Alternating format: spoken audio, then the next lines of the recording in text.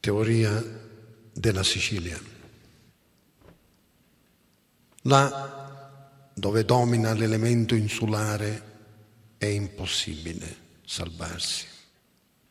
Ogni isola tenta impaziente di inabissarsi.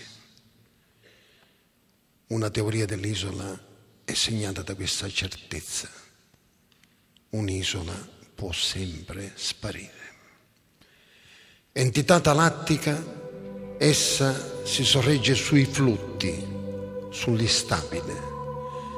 Per ogni isola vale la metafora della nave, vi incombe il naufragio. Il sentimento insulare è un oscuro impulso verso l'estinzione. L'angoscia dello stare in un'isola come modo di vivere rivela l'impossibilità di sfuggirvi come sentimento primordiale. La volontà di sparire è l'essenza esoterica della Sicilia. Poiché ogni solano non avrebbe voluto nascere, egli vive come chi non vorrebbe vivere. La storia gli passa accanto con i suoi odiosi rumori, ma dietro il tumulto dell'apparenza si cela una quiete profonda. Vanità delle vanità è ogni storia.